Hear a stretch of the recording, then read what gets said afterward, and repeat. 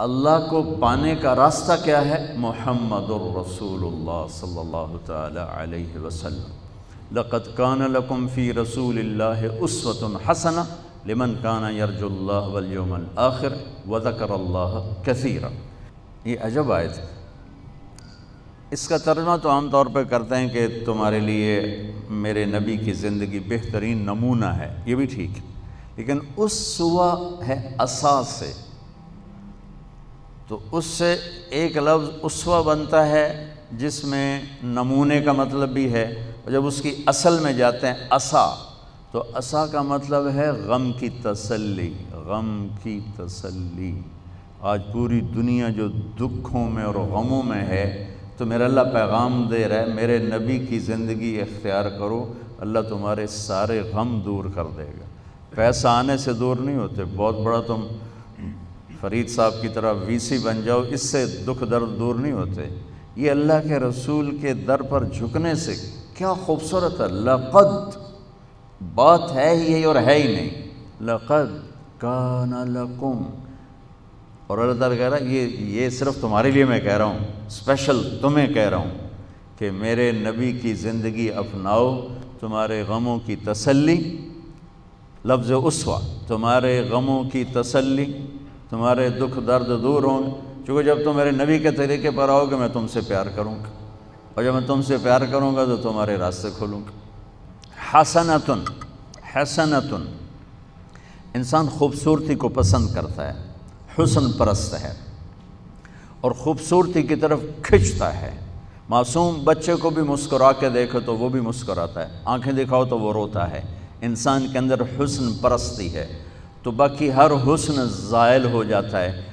मेरे नबी के ज़िंदगी वाला हुसन हमेशा बढ़ता रहता है। तो उसवतन हसनतन, तुम्हारे लिए मेरे नबी की ज़िंदगी सबसे खूबसूरत नमूना है।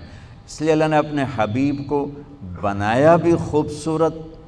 हज़रत आयशा फरमाती थी कि यूसुफ इस्लाम को देखकर औरतों ने हाथ काट लिए। अगर मेरे बैमूब को देखती तो दिल पे छुरियाँ चला के बैठ जाती। अल्लाह ने आपको इतना हसीन बनाया था। अल्लाह तक पहुँचने का ज़रिया है जनाब रसूल अलैहि वसल्लम। और अल्लाह तक जाने का रास्ता ही कोई नहीं। लविस्तफ़्तहोनी कुल्लबाब वजाऊनी मिन कुल्ल तरीक़, ला अफ़तम अन यकून वराक अल्लाह ताला ने फरमाया, मेरे नबी आप ऐलान करें। कि हदीस क़ुदसी है क्या कि आपके बाद अब मुझ तक आने का हर रास्ता बंद है, हर दरवाज़ा बंद है, कोई आपके रब के पास नहीं पहुँच सकता जब तक आपके पीछे ना आए। और अल्लाह को राज़ी करने पर ही हमारी ज़िंदगी की तकमील और कामयाबी है। अगर अल्लाह को खो दिया तो सब कुछ खो दिया। यबना आदम, उतलुबनी, तजदनी। मेरे बंदे जो मर्ज़ी काम करना है कर, पर मेरी तलब में रह, मेरी तलाश में रह।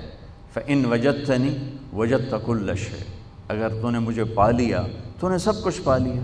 व इनफुत तनी फ़ाता ककुल्लुश है अगर तूने मुझे खो दिया तो तुमने सब कुछ खो दिया। वह अन खैरमिन कुल्ल शे और मैं तेरे लिए हर चीज़ से बेहतर हूँ। वरदान मिन अल्लाह अकबर। और अल्लाह का राज़ी हो जाना सबसे बड़ी दौलत। यबना आदम ली अलह का फ़रीद वलक अरस को मेरे बंदे, एक काम मेरे ज़िम्मे है तुझे रोटी खिलाना, एक काम तेरे ज़िम्मे है अपने रब की इतात करके चलना। ये अल्लाह को पा लेना हमारी मराज है, हमारी कामयाबी है, हमारा आने का मकसद पूरा हो गया। अल्लाह को खोकर, गुम करके किसी ने कुछ नहीं पाया। वो सारी दुनिया का मालिक बन जाए, बादशाह बन जाए। सिकंदर आज़म ने बाबुल में जब मौत ने झटका दिया तो एक आह भरी और कहा, कोई है जो मुझसे मेरी सारी हुकूमत ले ले और मुझे इतने दिन मोहलत दे दे कि मैं मकदूनिया जाके मरना चाहता हूँ?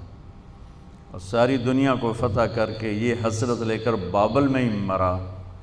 और उसके ताबूत को इसकंदरिया ले गए। मुख्तलिफ़ कौल हैं, वहाँ जा के दफन किया गया। तो मेरे अज़ीज़, अपनी मंजिल, अपने इस तरीक़े ज़िंदगी में अल्लाह को अपनी मंजिल बनाओ। अल्लाह, के अलावा तू मिल जाए, तू मिल जाए।